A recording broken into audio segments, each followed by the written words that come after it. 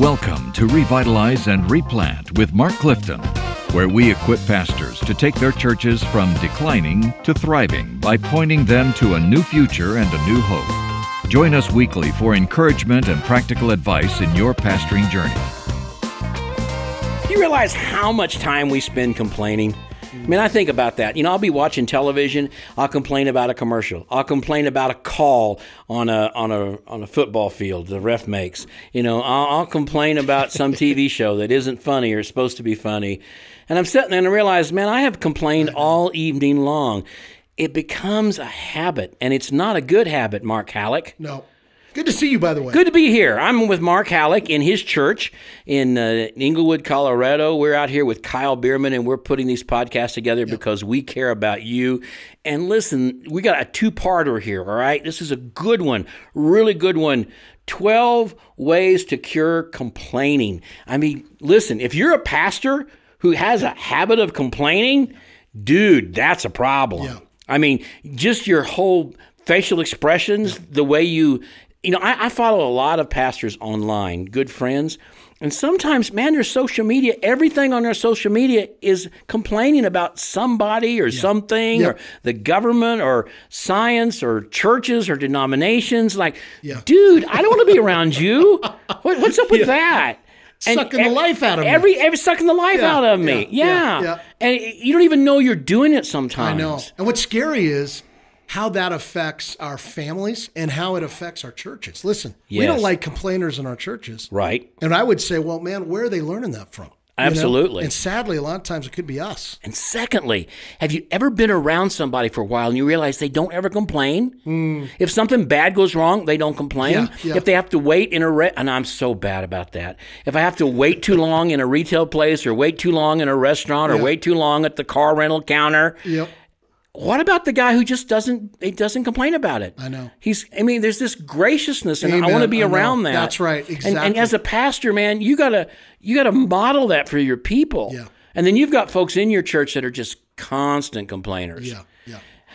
And I got to be careful about this, but some of you have family members who are complainers, mm-hmm. right? And mm-hmm. so, how do you work with them? Yeah. So, our friends at Christian Communicators Worldwide, that's Jim Elliff's organization, yep. we lean into them a lot. Um, they've written a really a great article here on 12 points to cure complaining. Very helpful. Extremely very, helpful. Very practical, helpful. I think this would be a really helpful. Yeah, and it, and if you don't like this and you complain about it, well, that's your problem. it's on you. it's on that's you. we're working hard here, guys. That's right. All right, number one. Okay, number one. Here we go. Is that God commands me never to complain. Oh, He does not he, he this is true. Where? The Bible actually oh, teaches oh, where this. in the Bible does God well, say let's that? look at you know Philippians two fourteen yeah. says pretty clearly. Paul writes, "Do all things without complaining and disputing." Oh yeah, I forgot about that. Yeah, I know. Sorry. All things. Burst your bubble. All things. That's right. At the car rental line. All things. All things in the deacons meeting. What all, are some things that all things when the yeah. church doesn't give you a raise? Yeah. All things when the church actually has to reduce your salary. Yeah. All things when that lady in church gives your wife the stink eye because the kids aren't dressed right. Mm. Do all things without complaining. Wow. Where do we find the strength to do that? Well, we'll come to that. We we'll certainly don't find it in ourselves. We don't find it in ourselves. Why is it so easy to complain? Because let's be honest, it doesn't take much work to be a complainer. Because we're fallen. I love what R.C. Sproul. I, I, I, was, I, looked at this, this mug the other day. You know, last year I gave everybody on our team uh, our, a mug that said, "What's wrong with you people?" That's a great, it's a great, a way. great line, yeah, yeah. especially when you deal with dying churches, yeah, right? But uh, I and Kyle's sitting here. No, you're not getting this mug. I didn't get this one, but uh, I saw a mug this year from uh, R.C. Sproul that said, uh, "I don't, uh, I don't, I'm not a sinner because I sin. Um, I sin because I'm a sinner." Mm. I'm not a sinner because I sin. I sin because I am a, a sinner. sinner. Yeah. Why do I complain? Because I'm a sinner. Mm-hmm. Because I'm fallen. It, it is absolutely 100% a, a sign of, of my humanity and my fallen nature right. that I complain. Yeah. It's our depravity. Yep. And and listen, you cannot say, "Well, that's just the way I was wired." Yep. Well, maybe it's the way you're wired, but if you're a child of God and you've been regenerate, that's it. Uh, Colossians or Galatians 2:20 says, "I am crucified with Christ; nevertheless I live, and the life I live now I live not by yeah. the flesh, but the faith of the Son of God who loved me and gave Himself for me." That part of you died. That's right. You that's you right. can't you can't say, "Well, that's just the way I am." Yes. No, if if you're a Christian, that part died. So, Amen. I well, think com- complaining's Paul, a sin. Well, dude, that's why Paul says, "Do all things without complaining and dispute." He's saying that because you can actually live that way if you are in Christ. You can imagine when Paul was when Paul was arrested in Philippi. He's a Roman citizen. He's not supposed to be arrested. Mm. He's arrested in Philippi and he's beaten, right? And and he he and Silas are are, are probably they're like they're like tethered to probably a, pole in the inner darkest part of that prison. You can't imagine how bad it smelled. You can't imagine how dark it was. And and seriously, guys and ladies, listen. With swollen lips and eyes that were blackened, he sang at midnight. Mm. He didn't complain. He didn't moan. He didn't gripe. And the reality was the jailer heard him. If he'd complained all night long, nobody would have listened to him. Let me tell you why people do not listen to the church or to our message today is because far too often all they hear us do is complain like the rest of the world. Wow. Wow.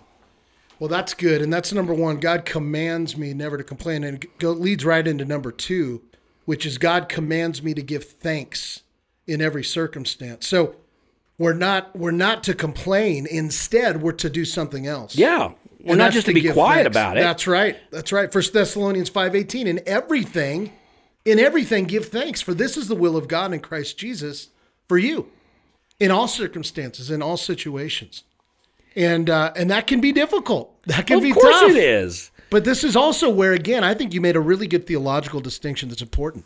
Is we aren't who we once were. We are right. in Christ now. We have been justified. Right. We're being sanctified by the power of the Holy Spirit to be those who actually do give thanks in all circumstances in the midst of your trial, in the midst of the pain you're experiencing in your church, in the midst of never being encouraged, all of these things, we are called to give thanks because the Lord is good. Yes. the Lord is sovereign. Absolutely. And he's working out his purposes for his glory and, and our joy in and him. when we're not thankful, we're really showing our lack of faith in who he is totally. and his sovereignty. You know, as, as we're going through this list, actually we don't we don't spend a lot of time on preparation on these things.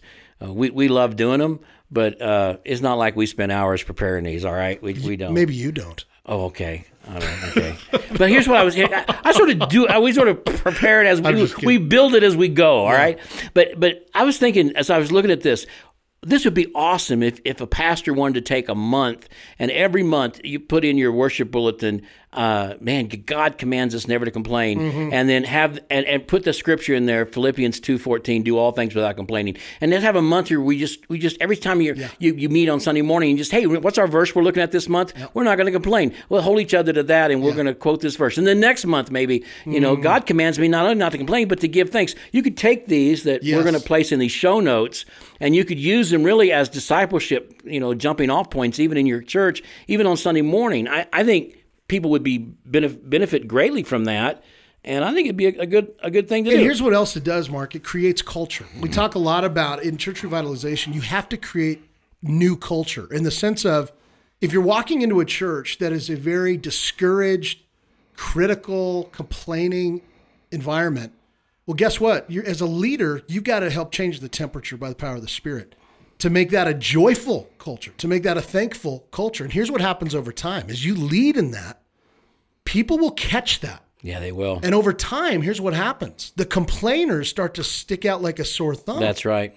Because that's not what we do in this no. church. We encourage each other. Right. We are joyful in the Lord, and the culture shifts. But I think what you just said is a great strategy to begin yeah. planting some seeds. Hey, yeah. we are a church we're not a complaining people. No. We're, we're a people who give thanks in all circumstances. And as a pastor, you're going to have to catch yourself because you're going to complain a lot. well, that's true. That's true. You know, who Hold did you accountable? Yeah, who left these lights on, or who didn't lock that door, or or how come this isn't working right here? You're going to have to quit doing that. That's now, right. that's not you don't point things out, but you know what I mean. It's true. You don't It's have true. a gripey, complaining That's right. attitude. So number one, God commands us never to complain. Philippians two fourteen, and then that He does command us though to give thanks in all things. And number three goes right along with number two. God commands me to rejoice always and especially in times of trial. Now, there are three verses here. Uh, number one, obviously the one we knew as a child, Philippians 4 4. Rejoice in the Lord always again. I say rejoice. Rejoice in the Lord, always again. I say rejoice. Rejoice, rejoice again. I say rejoice. Come on now. Rejoice, rejoice again. I say we did not plan All this. right, we didn't. Good And job. People have turned that off right now. That's your ne- that's your that's your opening uh, worship song next That's right. Sunday morning. That's so right. there Rejoice you in the go. Lord. But Philippians four four, rejoice Lord always. Again, I say rejoice. Give me another one. Okay, we've got 1 Thessalonians 5:16, which is rejoice always. Just rejoice always. Yeah, What- and and James 1 2, count it all joy when you fall into various trials. wouldn't it be great if our church was a place where when people walked in, they realized this is a place where people are truly joyful. Yeah, yeah. And, and yes, they may be going through great, great trauma and difficulty in their life, and it's not a, it's not a phony happiness. Yeah. But it, it's a deep joy that says my struggle, my cancer, the loss Mm. of my loved one is. My grief is informed by the hope of the gospel and the certain joy that is yet to come. Yes, yes, that's To right. walk into that kind of environment in a world that's full of people complaining Oh, and arguing and fussing and discouraged, you know, I told you, I, I really think that Jesus, I, I know He builds His church, and and He will bring people to a church that express joy in Him. Mm. Yeah, yeah. It's contagious, man. I mean, it's otherworldly. I mean, it's otherworldly when people, I mean, just think about people you know who have the joy of the Lord or churches. You want to be around those people. You Yeah. want to be in that place. Yeah, And so I agree, man, especially, um, you know, there, you know, old Steven Curtis Chapman back in the day when I was a new Christian, and a lot of his music discipled me early on because I wasn't in a church that did much discipleship. And he had a song called uh, "What Kind of Joy Is This?" okay, And I remember just going, I never really thought about it. Yeah. And he's like, man, in the face of suffering, in the face of pain, what kind of joy that you would continue to worship the Lord. And it's like that is a supernatural joy that only comes by the power of the Spirit that says, man, even in the midst of my pain, God is at work here. and I love this number four. All right, this is. This is hard, but it's so good when you grasp it. And and Mark, when your church begins to be a church where the dominant membership feels this, it, mm. it just changes everything. Mm. Number four, I always deserve much worse than what I'm suffering. In fact, I deserve hell. Yep. Anytime we think, man, I don't deserve this, I shouldn't be going through this, why is this happening to me? We have to stop and say, man, I deserve eternal hell. That's the truth. The, the wages of sin is death. I, I deserve death. I've received life. I've already received far more. You know, the, the again, I think it was again, it's R.C. Sproul quote. Uh, you know, uh, why do bad things happen to good people? and R.C. Sproul said that only happened to once, and he died on a cross and rose right. again. That's There was only one good person. Amen. Right? That's the truth. So uh, the rest of us get well. Yes. we, we, we, we don't get what Yeah, we deserve. yeah, yeah. And that all that does, guys, when you communicate that to your congregation and to yourself, it gives you a healthy sense of perspective That's right. Yeah. of what you've received. I mean, um, yeah, the, the financial struggles we go through, the conflict in the church, the people who cause us problems, you know, our physical ailments and pain, the, the loss of our parents or our loved ones, those, those are, sure, this world is a world. Jesus was acquainted with sorrows and very much a, a person who knew about grief. But at the same time, uh, that grief is informed by hope. And at the same time, look what we don't get that we should that's get. right, look right. what our inheritance is. That's right. Well, and this is why, you know, Jerry Bridges kind of popularized years ago the idea of, of preaching the gospel to yourself Yes. every day. And there's two sides to that. One is the hope of the gospel, the good news that I am in Christ. I have been saved by Jesus. My salvation is secure. But the fl- the other side of the gospel is there's bad news. That's right. There's bad news. Yeah. And the bad news, there's you know another Sproul quote. You know, the good news isn't that good until you know how bad the bad news is. That's you know? right. And as Jerry would say, but as we preach the gospel, it reminds us, it puts us in our place in the right way that we are sinners, and apart from God, all we deserve is His wrath Right. forever. And yet in Christ, we've been forgiven and reconciled, and that is our hope. So the gospel keeps us humble. The gospel makes us a thankful people, Right. even in the midst of suffering. Good stuff. 12 points to cure complaining. Number five, in light of eternal happiness and glory that I will experience in heaven, this present trial is extremely brief and insignificant, even if it were to last for an entire lifetime. Give us a couple of verses on that one, Mark. Yeah, yeah, yeah. So in Lamentations chapter 3, verse 39, excuse me, I'm sorry, I read the wrong one. 2 Corinthians 4 19. The sufferings of this present time are not worth worthy to be compared with the glory which shall be revealed in us. Sorry, that was Romans 8 18. Man, I couldn't have messed that one up. No, but that's okay, but let me keep but going. I'm not complaining No, no, that you're not And you doing this well. You shouldn't. But but listen to this too. But let me go back to 2 Corinthians 4:19 For our light affliction. Yes. So Paul says our light affliction, yes. which is but for a moment. Yes. is working for us. I mean, this is incredible. A far more exceeding and eternal weight of glory. yes. Can, do you know people? Can you think of you know the one that comes to my mind is is Joni Eareckson Tada. Yeah. But I think of folks, godly men and women who have suffered um, in very significant ways for a long time, Right. and yet have remained faithful. Faithful. Their joy in the Lord. Uh, Joni Eareckson Tada was paralyzed as a teenage girl. Right. Um, it's, God has used her in amazing ways. Um, but you know that that is that's something that many of us haven't experienced. Can you think of people or as a I I can, and I'm going to give you one you're never going to expect. Yeah, yeah. But, but but as we do that, I, I just I do want to read Romans eight eighteen. The suffering of this present time is not worthy to be compared with the glory which shall be revealed in us. And again in 2 Corinthians four nineteen, for this light affliction, which is but a moment, is working far more exceeding an eternal weight of glory. Okay, here's something you would not have expected. I saw I saw a biography the other night of Lex Luger. Remember right. Lex I didn't expect that to come out. Lex Luger, the re- the wrestler. Oh, yeah, years totally. Ago. Big, Oh, yeah. big wrestler. WCW. WCW, Yeah, yeah. and uh, you know lived a really, really raucous life. I mean, was in jail several times. Hmm. Uh, very, I mean, drugs and everything you can imagine. Man, He Huge was blonde hair, huge blonde dude, hair, just- the total package, Oh, or what they called him, right? So I was watching it, and this guy, he's my age, all right? He's 64, is what I am. So I was watching it, and he comes on the screen. Oh my gosh, he looks like he's 80, and he's he's Mm. he's he's pencil. He's like a pencil. He's like totally thin, right? Hmm. And so I'm go, what in the world? And I listened to his testimony, and dude, he was in jail.